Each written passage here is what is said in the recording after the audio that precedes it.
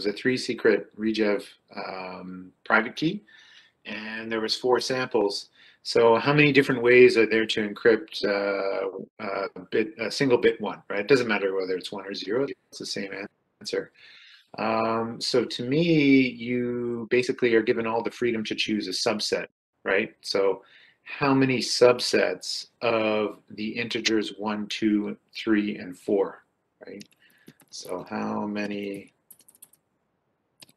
how many different S subsets are there? That's basically the road to the answer, right?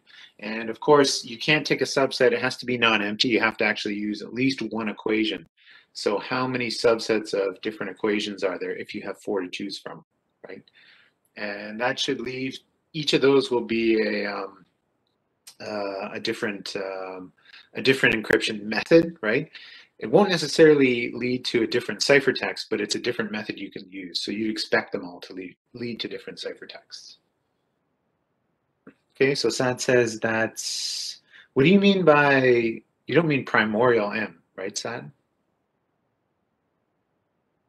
So remember, so to, to solve this one, uh, you have to figure out the number of singles. So there's four, right? The number of pairs, the number of, uh, so that, let's see whether this would do it. This should do it, right? Four plus, although it's not the one I, not the way I'd solve it. That's kind of a, a different way to do it. But, but basically how many uh, pairs are there? How many triples? How many quadruples?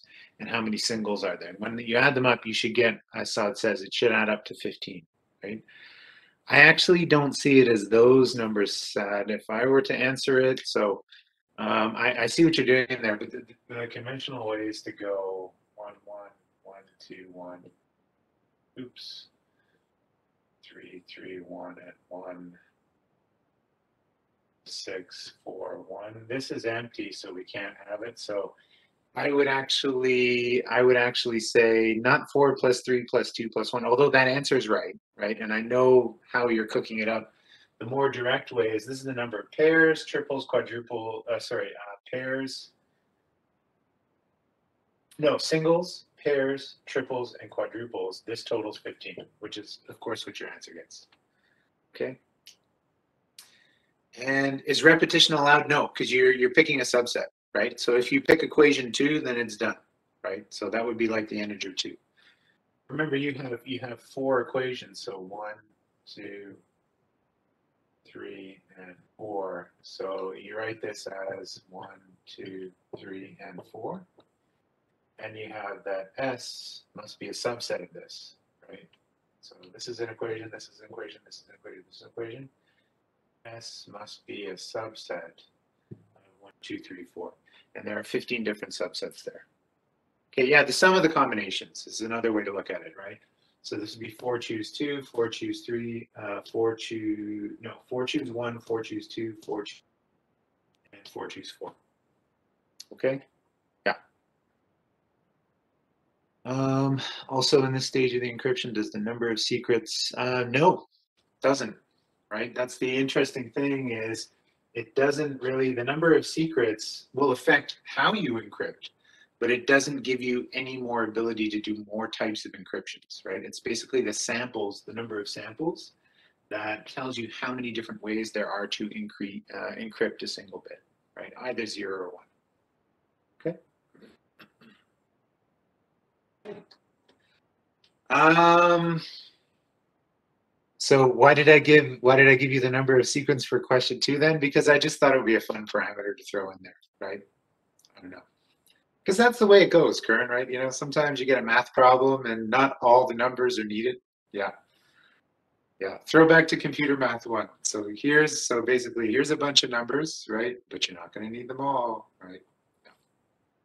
There you go. Okay, good. Um, so that's your last quiz. That was quiz nine.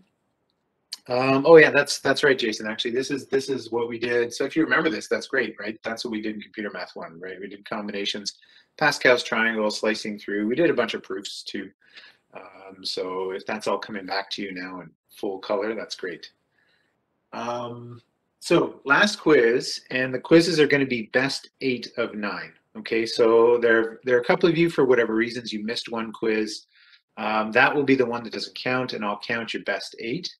Um, the only other evaluations we have left are there are the the quiz meetings. There's still one, two, three groups that I have to see. Some of you have actually had all your quiz meetings, which is great. Um, so you can look up your marks for all of those. The rest of you will have one mark left for quiz meeting number four, and we're going to be doing those in the next three classes. So quiz meetings are still still there. Um, obviously, there's the test number two, but it's it's not like a final exam or anything like that. You've done an awful lot of work in the form of quizzes and quiz meetings and assignments up to this point. So test number two is only 15%, right? Um, so you've you've already accumulated a great chunk of your final mark right now. Um, and then, of course, the last thing that I want to talk about just briefly today is assignment four. Okay, the last assignment. Okay, so I'll just put some details on it uh, on the board. Basically, and so don't miss this when you're reading assignment uh, four. There's two questions. Answer one. Okay, I do realize that um, at the end of term, there's a lot of stuff going on, and I don't want to give you an assignment like our first one, which basically had a whole bunch of things you had to do because it was a long sort of progression from the start to end, right? So I basically picked two disconnected topics um, one was the knapsack attack, right? So years knapsack attack method. Okay, we're going to attack a, uh, attack a or break a knapsack cipher, and the other one was a Pratt primality certificate, right? No, no connection between the two other than they're both in cryptography, right? That's it. Um, so the first one, if you choose to do it, it would be insane to do it manually. So I'm assuming everyone's going to use uh, some sort of programming technique. So let's constrain that so I don't get things submitted to me, you know, in C or Java or whatever. Um, we're going to make it all Python, all Jupyter Notebook. Okay, so that's your choice here for. Uh, so assignment four, pick one of two. So assignment four, assignment number four, just one question. Okay, one question. And if you pick the question involving the knapsack attack, you're going to be working in Python Jupyter Notebook. Okay, so if you pick the knapsack attack, attack it's Python Jupyter Notebook. Jupyter Book. And of course, if you do the Python Jupyter Notebook, the, the way that I would prefer you submit your solution is if you just give me the HTML file, right? So if you do go with question number one, Q1, Python Jupyter Notebook, and submit um, an HTML file. HTML file. Okay, and don't worry. Um, I know those of you who did Crypto One with me, you know that, that when you submit it on Slate, uh, if you uh, don't, if you just submit the raw HTML, Slate, when you preview it, will strip away some of the stuff don't worry about that. I don't grade them directly in Slate. I actually download them and open them up in my own viewer. Um, so I can see any additional features you've put in it, okay? So even though you may have in other courses, people have said, no, don't submit a raw HTML file. I'd actually prefer you do that if you're gonna do that, right? So if you're gonna solve question one, Python Jupyter Notebook, let me see the HTML file and I'll just directly grade that, okay? Um, so Daryl,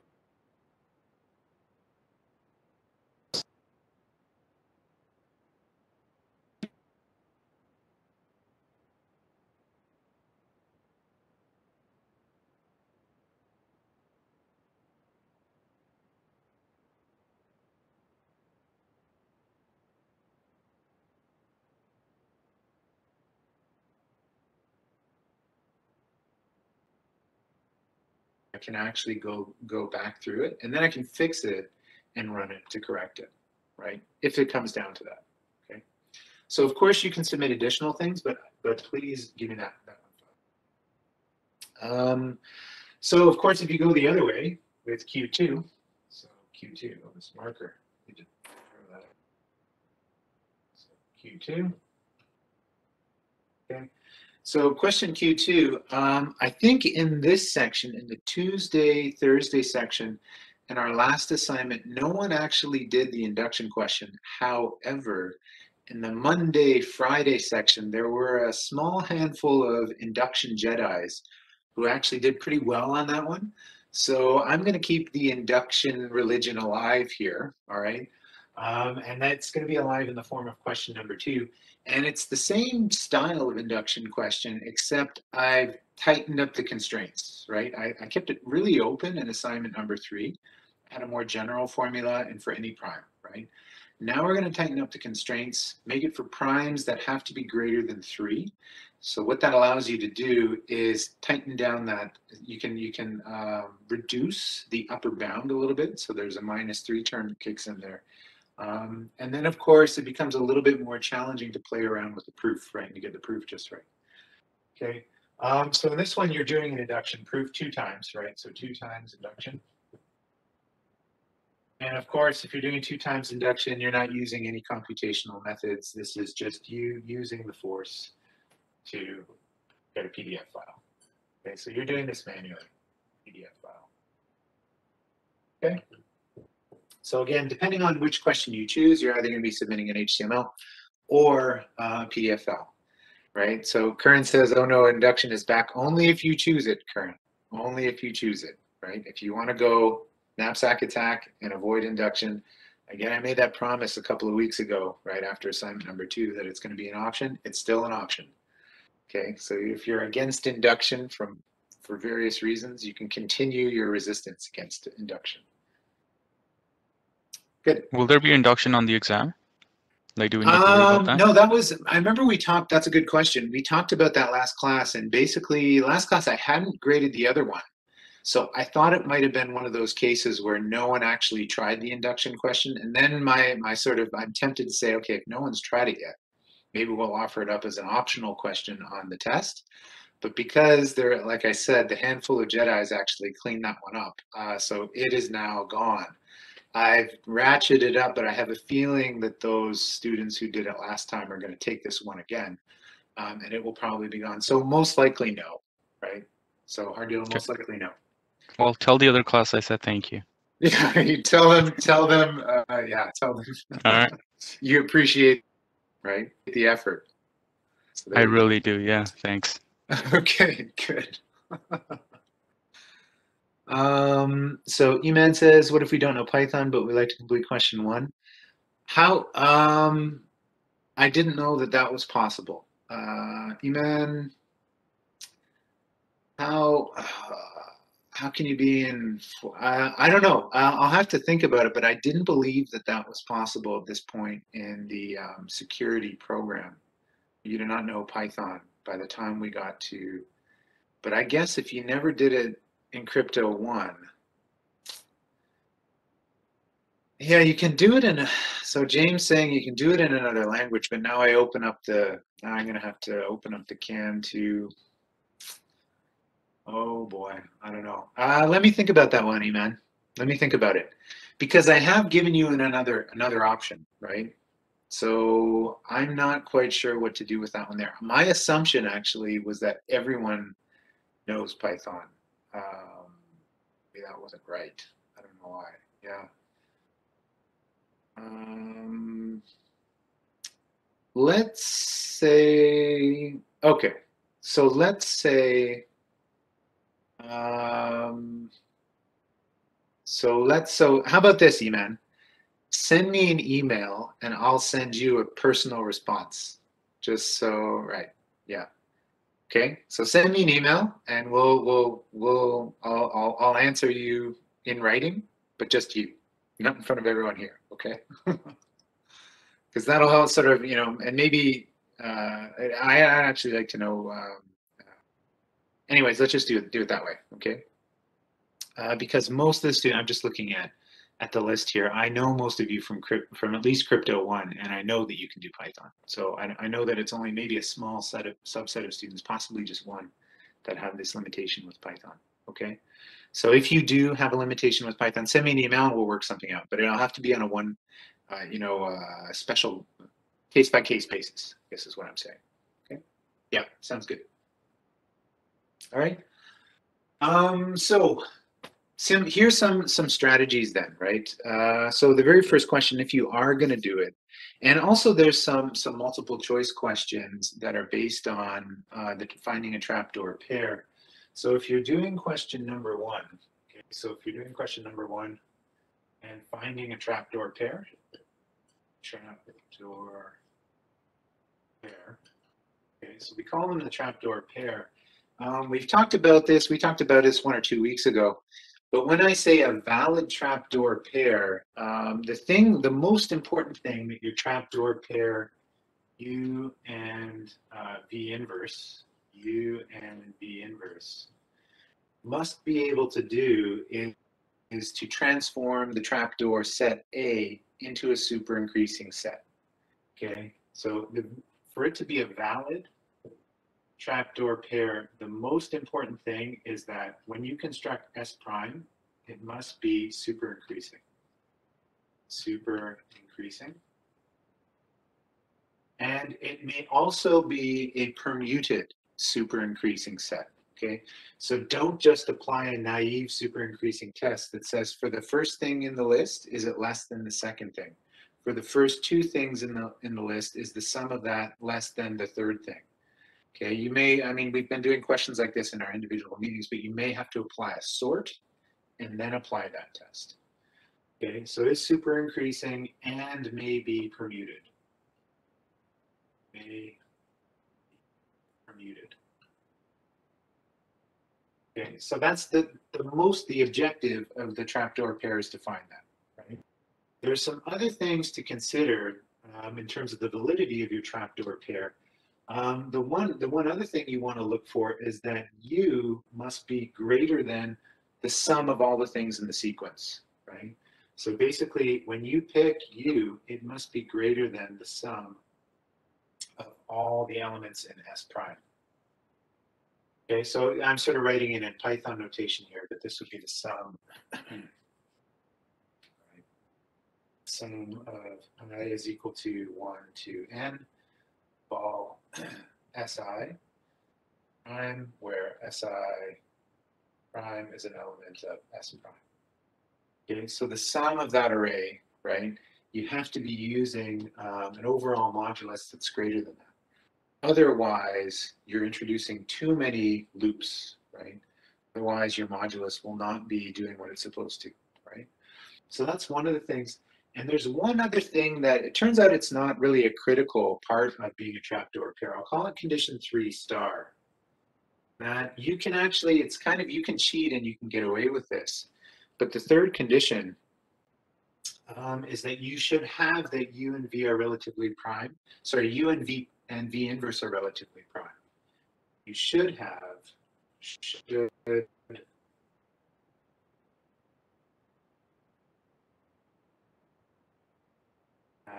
that the GCD is equal to one.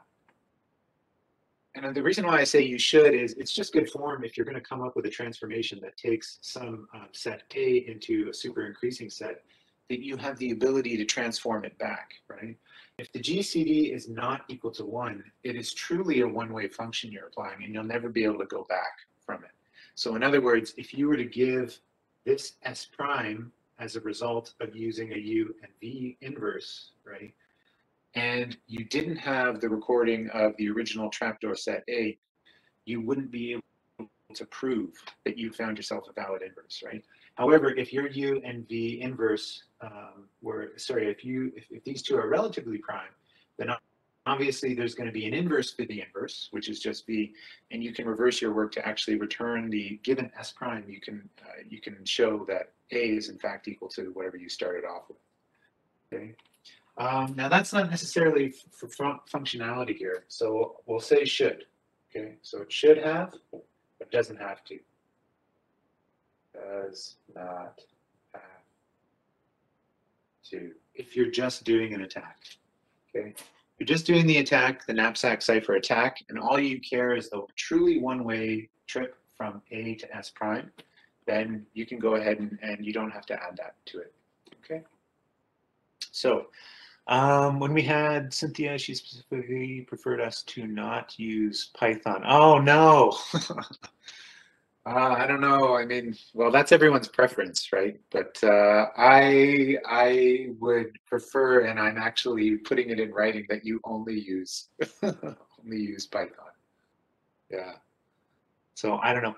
I think in, in Cindy's defense, it's uh, it's because Cindy didn't. Uh, she wasn't comfortable with Python either, right? So she'd rather you use one of the um, uh, more established languages like like C or Java or something?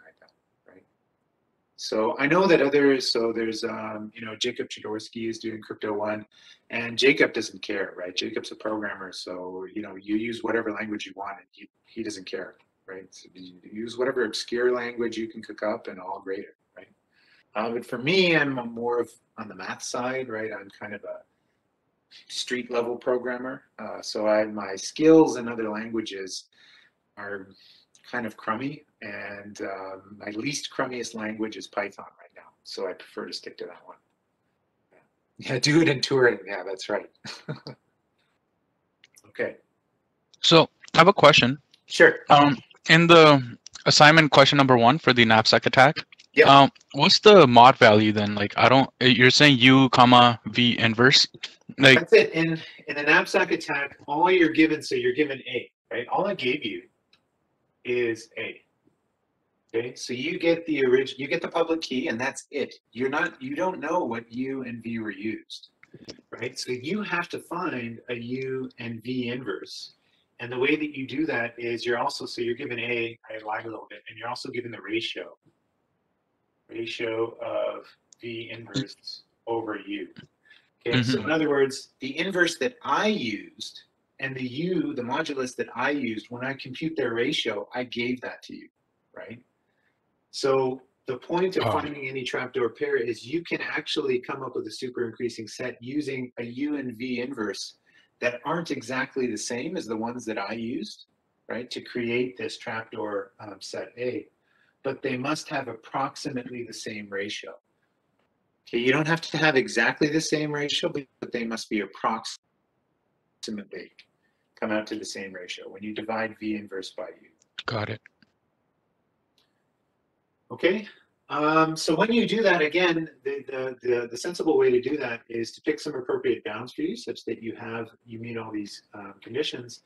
And then use the ratio, once you've defined what U is, if you want to figure out where approximately your V inverse should be, just multiply U times V inverse over U, right? So take wherever you want to start with in terms of a U, right? It could be a randomly generated number, multiply it by the ratio, that'll give you a starting point for V inverse.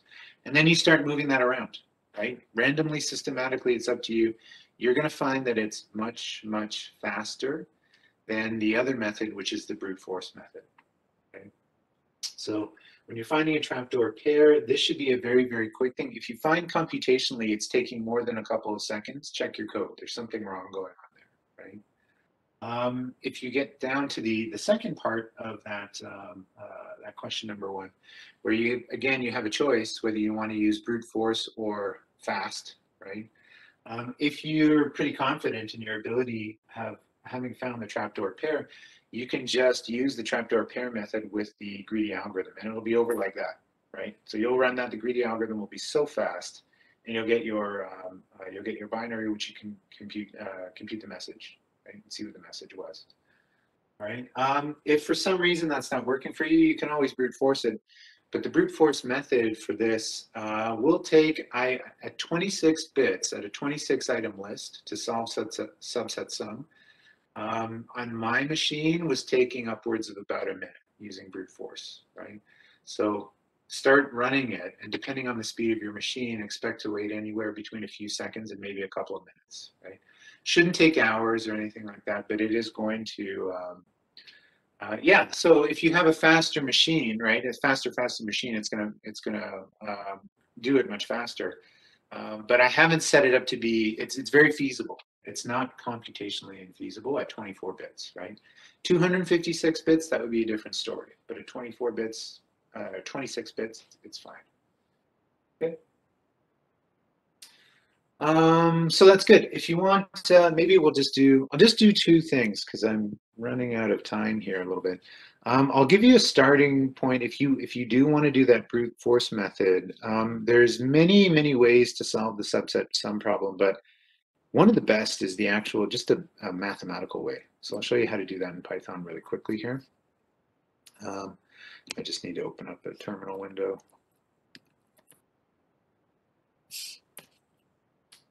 Uh, get comment bubble here. Perfect.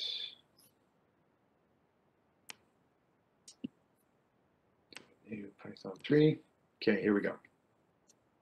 Um, so, and in case you can't see that, we'll zoom in. So itertools is really useful when you're mapping out, when you want to know all the different combinations or permutations something.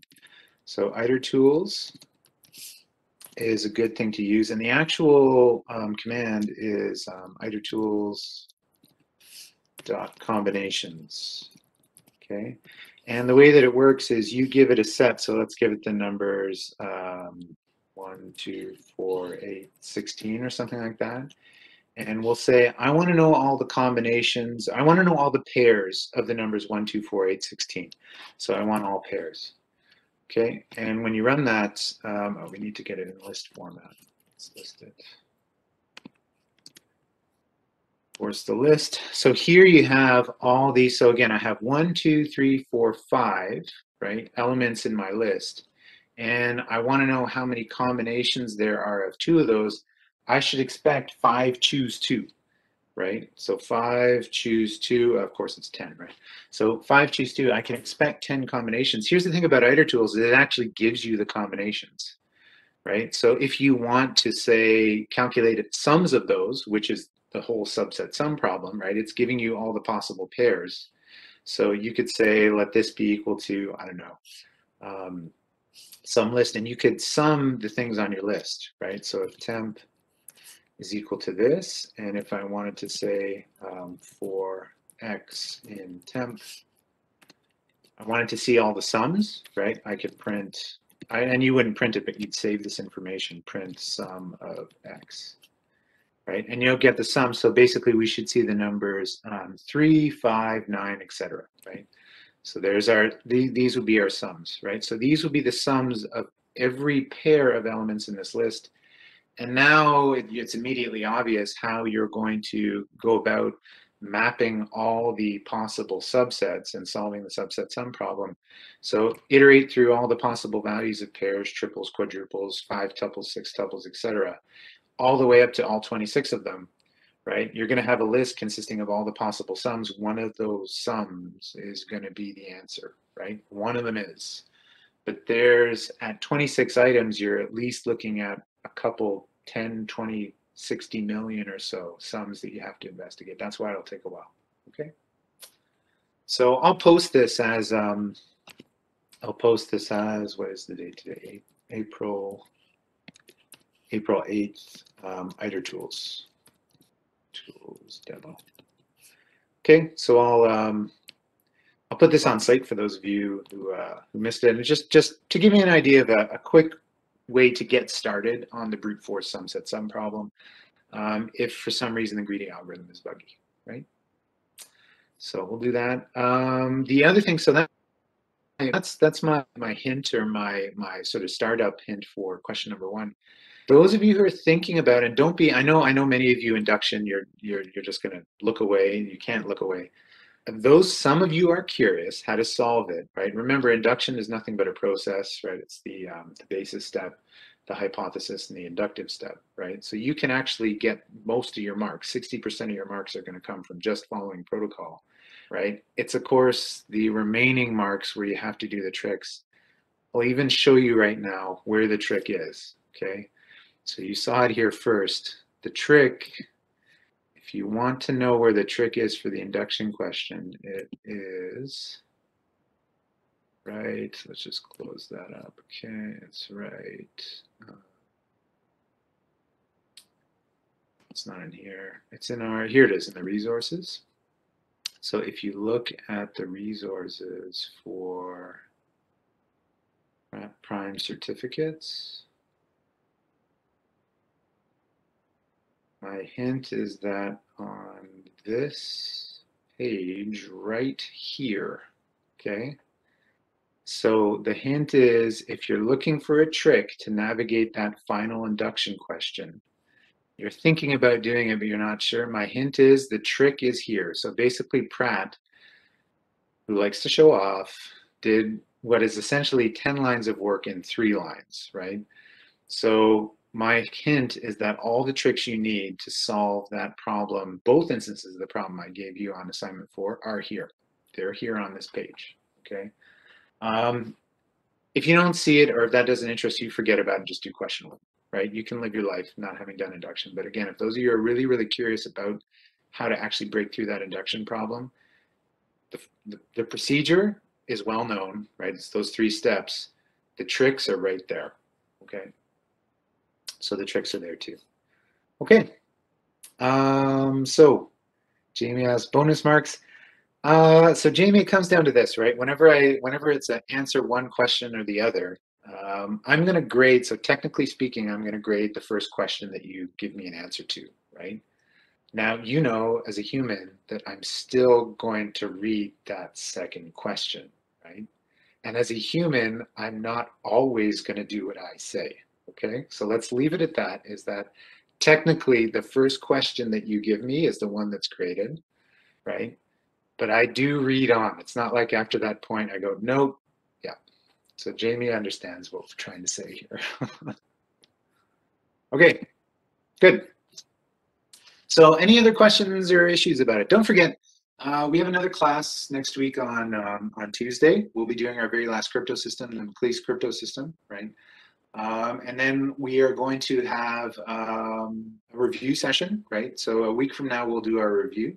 And your your assignment still won't be due at that point right? Your assignment is due the wednesday of the last week. So basically you'll have done everything in this course including the last test before this um, this assignment's due. So you have plenty of time to work on it. And then if you if you're getting stuck you can ask me during any of the classes. We still have classes to talk about okay uh, but i just wanted to give you some pointers to make sure you get off on the right foot nothing's worse than starting off in the wrong direction and realized I've been working on this assignment for a day, I've gotten nowhere. It's because I went the wrong way, right? So that's why I just uh, gave that, that thing there. Okay. Um, so, um, any other questions? Questions, issues? Uh, when's the exam? Is it on the 20th or is it on the Thursday class? It is on the Tuesday class on the 20th, I believe. Okay. So it will be the one, we have it Tuesday, April 20th at uh, 9 a.m., right?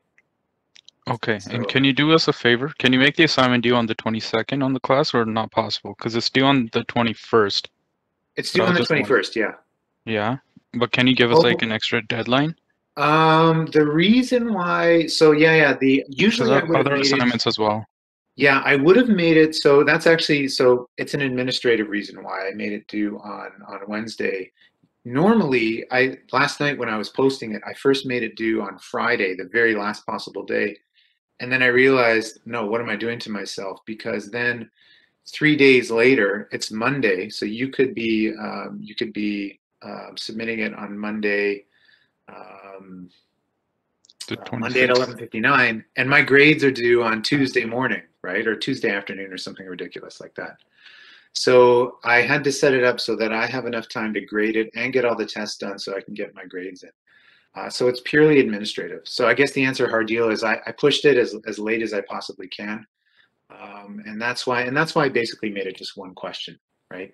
Uh, No because I realized I only gave you exactly two weeks to work on it. You didn't get a little bit more. Um, so if you are going to submit it late, uh, you have to get it in by Friday at 11:59, the very last possible minute, and then I have to be able to grade them all and get uh, get the grades out. Okay. Yeah, thanks. Yeah. So my answer is my answer is no, but I hope you can appreciate why. Is I can't. The as soon as I make it any later than Wednesday night, then all of a sudden, um, after three days, if something, you know, if there's any uh, reasons why I'm getting them late, that runs into when I when my grades are immediately due. Okay, and uh, I don't want that to happen. So, okay, but you have a lot of time. You have two weeks, right? Single question. I imagine many of you, if you start working on it now, uh, will probably have it ironed out within a day or two, right? And then it's just a matter of um, if you encounter any issues, uh, we can talk about those during the classes that are coming up over the next two weeks. Sound good? Yeah, thanks. Okay, good. Um, any other questions?